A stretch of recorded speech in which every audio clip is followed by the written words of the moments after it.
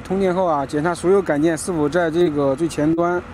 啊，必须把所有的杆件全部复位，然后查看咱们的连接的这个手机的这个屏幕，然后在我们上面显示的主要有，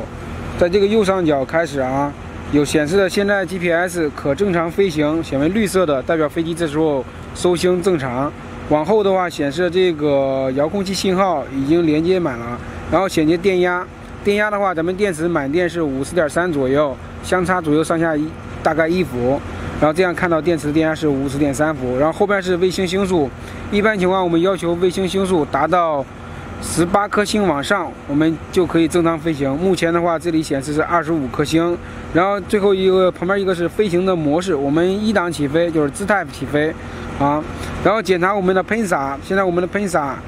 开度是百分之百，是代表喷洒已经打开了，喷洒还可以关闭，但是最低不能低于百分之五十，如果低于百分之五十的话，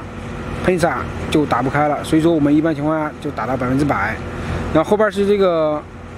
场地的话，咱。